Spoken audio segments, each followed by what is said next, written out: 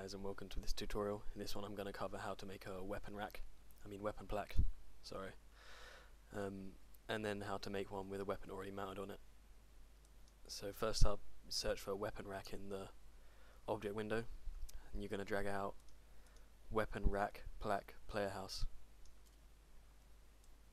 and then weapon rack plaque activator player house. It'll be a white marker. So these are pretty much all you need. Um, first up, click, select your marker, right click, edit, and then linked references, and select a new reference, and select the weapon plaque, and choose the keyword W rack activator. And then just press OK. Now select your weapon plaque, edit, linked references, and select the marker and now choose the keyword of WRack trigger. So now that's pretty much done. You just need to um, place your plaque wherever you want and then you place the marker over it. And there's an easy way to do that by setting them the same coordinates. So you'd edit both of them and you get both of the windows and then just copy and paste the coordinates so that they're the same. And then when you press OK, you can see that the is covering up the um, plaque. Now, if you wanted to add a weapon that was already mounted on there, you'd search for your weapon. So I'm just going to quickly find a weapon.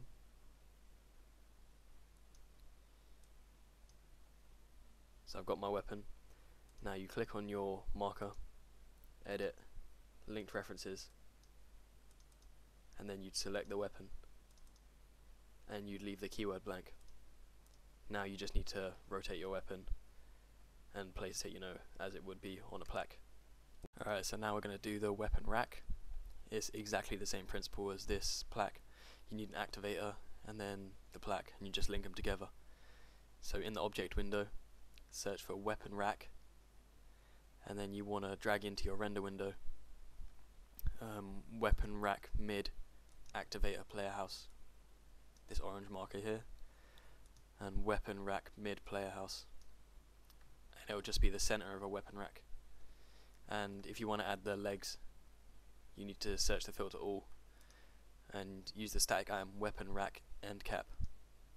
And then once you've set up however many you know weapon racks you want just drag the legs on and you're done.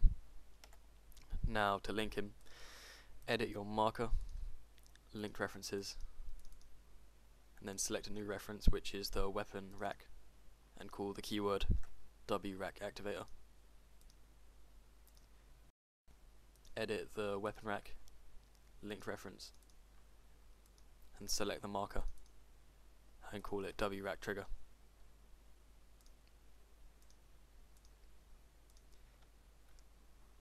Now you just need to drag the um, marker over the weapon rack and yeah, just save out your plugin and test it. So now we're just going to go in game and load up our cell and test out the weapon plaque. Um, so yeah, you should have a functioning weapon plaque now. A problem I run into is weapons, they won't actually go onto the plaque. Um, they will just float off like that. And I know I'm not the only person to have this problem, and I just can't find a solution. Um, apparently if you, um, on the z-axis, you rotate the plaque and the activator, or marker, by plus or minus one degree, you know, that can solve it, or you can just copy and paste the other weapon plaques and bookcases, mannequins, etc.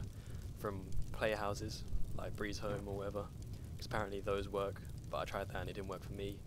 Or you can't have the plaques and stuff on a 90 degree angle or minus 90 or minus 270 there's all sorts of stuff, but none of them have worked for me, and I just can't, I can't find a fix to it. So yeah, hopefully it works for you.